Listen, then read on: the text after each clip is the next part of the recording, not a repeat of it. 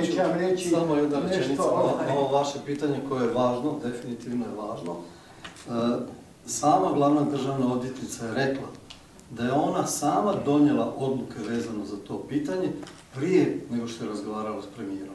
Da je bilo obrnuto, onda bismo mogli razgovarati o svemu, a ovako glavna državna odvjetnica je rekla ja sam došla izvijestiti, međutim sve odluke koje sam donijela, donijela sam sama i donijela sam prije tog razgovora. A zašto je došla izvijestiti premijera ako ona je poslala svoje, dakle, poslala je sve ministru Malenici koji je pretpostavlja se to iskomunicirao s premijerom, zašto je bilo potrebno da se dogodi taj sastanak, što je točno premijer trebao dobiti ili želio dobiti, on kaže ponovila mu je sve isto, dakle to moj telefonom mogla reći, evo sve što sam napisala, to je to, nemam ništa za dodati. Zašto taj sastanak? A, zato što je taj sastanak moguć, zato što je moguće da ona izvijesti premijera, ali je ključno da je donijela prije tog sastanka samostalno i neovisno te odluke. To je ključno. Smatrate- Da je bilo obrnuto, onda bismo mogli razgovarati je li to baš, je li to baš u redu ili nije u redu. Ovako, ona je odluke donijela i izvijestila je o odlukama. A- To, ako je neko podnio ostavku, ako mu je to obrazložio zbog čega, Pa dobro, da ima razloga, ja ne znam, to ćete pitati njega.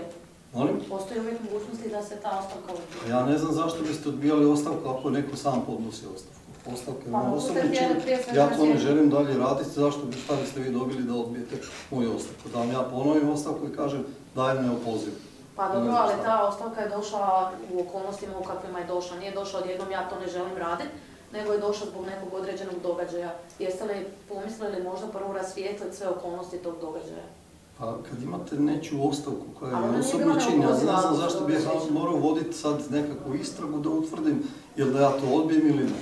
Znate, imate čovjeka na toj po- imate čovjeka na toj poziciji koji je, podnio ostavku, da vi zapravo to ne prihvaćate, to nije racionalno. Je li HDZ-u dobro došlo što je Vanja Marušić na kraju podnijela tu ostavku? Gledajte, HDZ je zapravo podržao Vanju Marušiću dva mandata, kao što vam je akademik rekao. Zašto bi nama to dobro došlo? Pa Mi smo Vanju Marušić podržali, mi smo Vanju Marušić podržali u drugom mandatu. Ali nije bilo Putem- drugog protukandidata. Molim? Nije bilo drugog protukandidata zadnji put. Nije bilo drugog protukandidata, ali natječaj je bio otvoren. Natječaj je bio otvoren, dakle mogu